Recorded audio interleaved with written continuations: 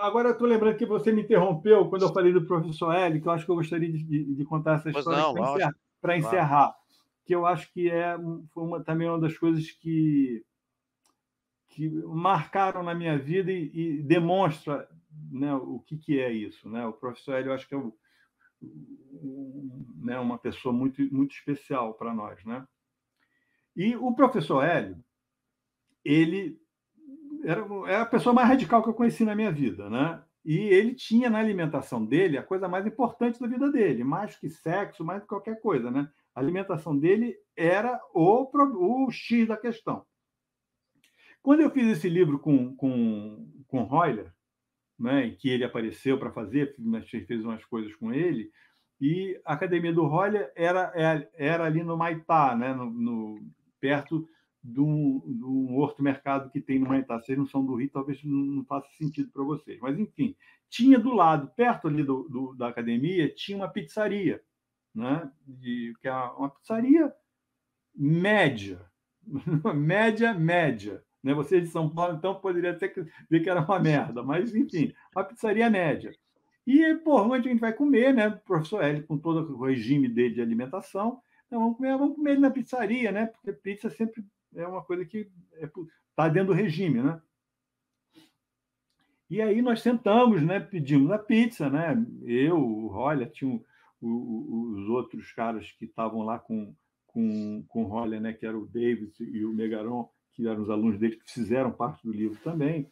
É, tinha o meu assistente, né? E, e, e, aí pedimos a pizza. E o Roller, né? Naturalmente, o pai dele ali, velho já, já estava já velhinho e tal. Aí porra, a pizza, a gente tá comendo uma pizza média.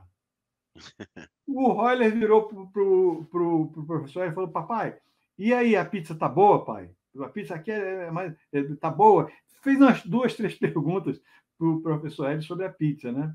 Aí o professor Hélio virou assim: Olha, essa é a melhor pizza que eu já comi em toda a minha vida.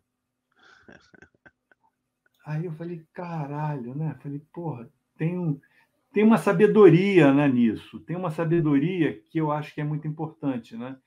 Que é você, na hora que está comendo, tem que ser a melhor coisa que você está comendo na vida dele, né? Porra, e a pizza era uma merda.